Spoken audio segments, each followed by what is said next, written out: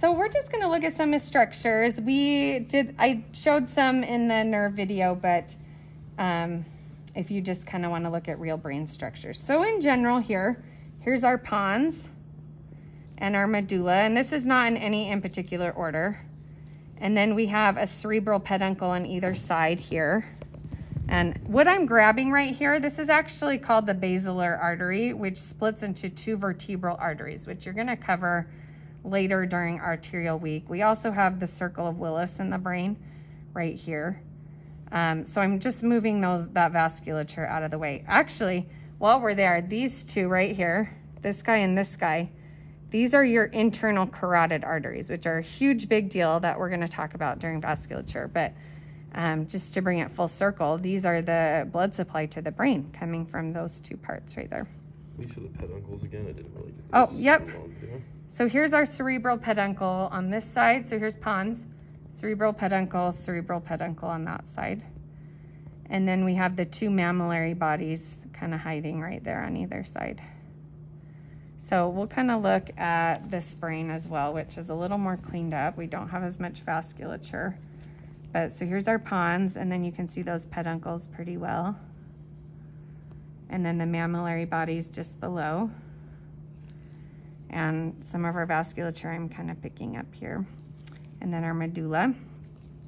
Um, then we'll kind of look at some of the brain structures. Now, this is not dissected, so we have a lot of the vasculature still in here. But what we want to look for is finding, so here's our lateral sulcus on the side right here. I'm just gonna remove, this is all arachnoid mater that I'm moving out of the way here. And pia mater would be right on the brain. I took the dura mater off the top here, so that's gone. Um, but here we have that lateral sulcus, which separates our temporal lobe. Our frontal lobe goes all the way back to about here. So here's our central sulcus that's going up and all the way down to that lateral sulcus. So our precentral gyrus, postcentral gyrus behind. If we are wanting to see the parieto-occipital sulcus, we can only see that from the inside of the brain. And so if there's anything showing, you can't find that on the outside of the brain. Um, and then I did show you this in nerves, but we'll do it again. So lifting up here, you can see if I, well, there's a lot of fascia in the way, but this, let me see if I can expose it. Here is our pineal gland right there. And then we have the corpora quadrigemina. So we have the four bumps, which is the corpora quadrigemina. And since the brain's upside down, we have the two inferior colliculi and the two superior colliculi. Let's take a look at another brain here. Um, this pineal gland is missing, but you can see the bumps really well. They're free of that fascia. And then on this brain here, you can see that pineal gland right there that's almost gonna fall off. And then we have the two inferior colliculi, two superior colliculi. You can also see here, this is the very anterior portion of the corpus callosum.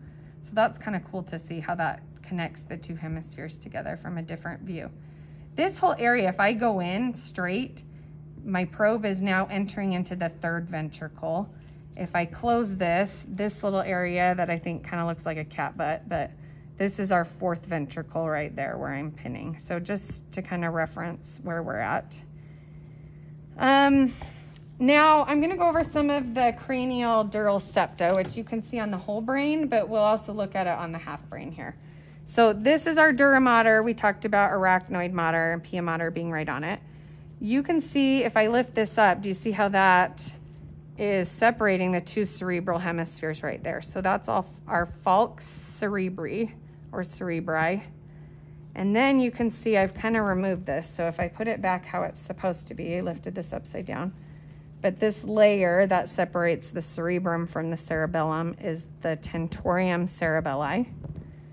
And then you see where that's kind of stretched out. That area, this portion right there that I'm touching, is our falx cerebelli. Um, on this one, we removed the Duramater here so you can easier see that falx cerebri. And then you can see these two layers fanning out as the tentorium cerebelli that separates cerebrum from cerebellum. And just this little area right there, that's part of the falx cerebelli. So we're gonna walk over to look at our half heads here, which show this a little better when the brain is actually removed. I think it's kind of cool to see these. But this one, we don't have the falx cerebri in place. But this layer, this flap right here, that is our tentorium cerebelli. And then you can see this little snippet here. That is our falx cerebelli. So we're separating both. On the one that still has the brain in, you can very much see the falx cerebri, which is pretty. And then you can see that falx cerebelli down here. And a little bit as like my probe is kind of hiding and um, touching on the tentorium cerebelli. So as for the dural sinuses, you can see that superior sagittal sinus running right through there. And then it's going to come back. This is our confluence of sinuses. And then we go through the straight sinus. And then this would lead into the inferior sagittal sinus, which can't really probe into it, but right there, you can see kind of that darkened space right there. On this guy, because our brain is out, we can actually see quite a few things. So we have that superior sagittal sinus back to the confluence. And if we can get the angle right, this runs, you can see that darkened area right there. Maybe if I can hold the light here, let me flap that down. Okay. So that dark space right there that my probe is on, this is our transverse sinus. And then if we go under the flap, you can see where it starts to become into the sigmoid sinus. So it's gonna wrap down into that S. So that's kind of cool how you can see both of those. Um, I think that was it. the straight sinus would be here, but that's kind of removed. Um, some other things that we see here, we can see that sella turcica um, right there. This actually still has the pituitary gland in it. So that's our sphenoid sinus and our frontal sinus.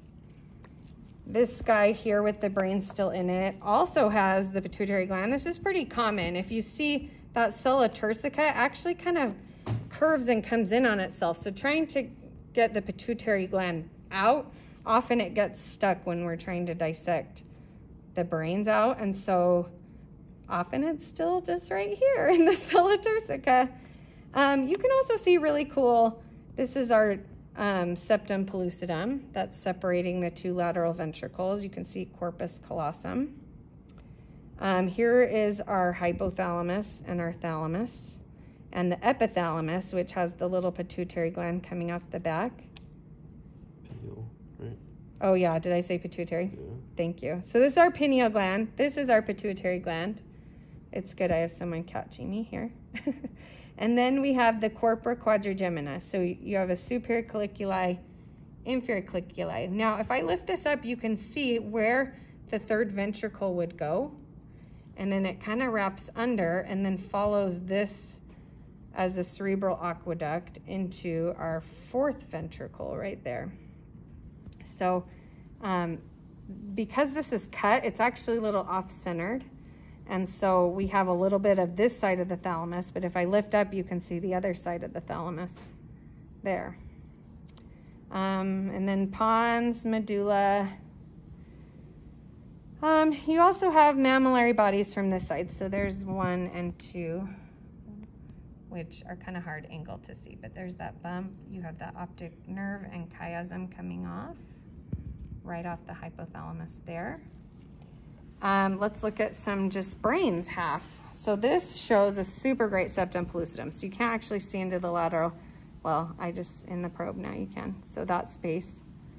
Um, so this is part of the other side of the thalamus. So it was connected by that interthalamic adhesion. So here's your hypothalamus. Epithalamus, there's part of that pineal gland again, leading right into the corpora quadrigemina. So here's that superior colliculi and inferior colliculi. And that cerebral aqueduct, you can see that space right there going into the fourth ventricle. You have that mammillary body right there. Um, this is part of that infundibulum coming off that's going to connect to the pituitary gland. So this other side does not have the septum pellucidum because that side did.